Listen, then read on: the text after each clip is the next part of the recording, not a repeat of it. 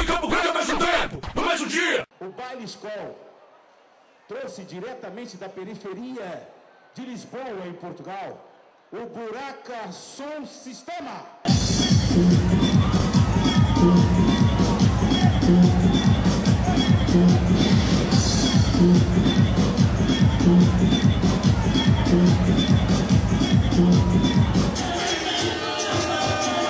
Onde você aprendeu a dançar? Eu aprendi a dançar na rua, como se aprende todo lado em Portugal. Na rua.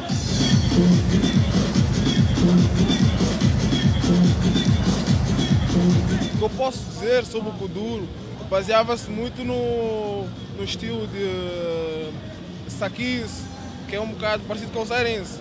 Mas depois foi se transformando, eles foram criando a própria dança, como aqui no funk, os movimentos é uma dança.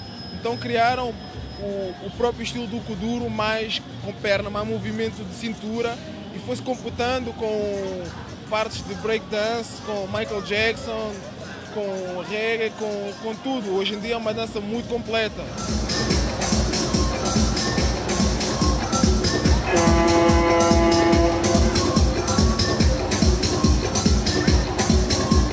Gosto do funk, é sensual, é aquela coisa, é sensual, é botar tudo para fora e dançar e fazer. Só não tem que ter vergonha, tem que dançar. Então, quando pode dançar à vontade, expor o estilo que quiser, a maneira como quiser, é bom e eu gosto. Por isso eu adoro funk, principalmente a mulher brasileira.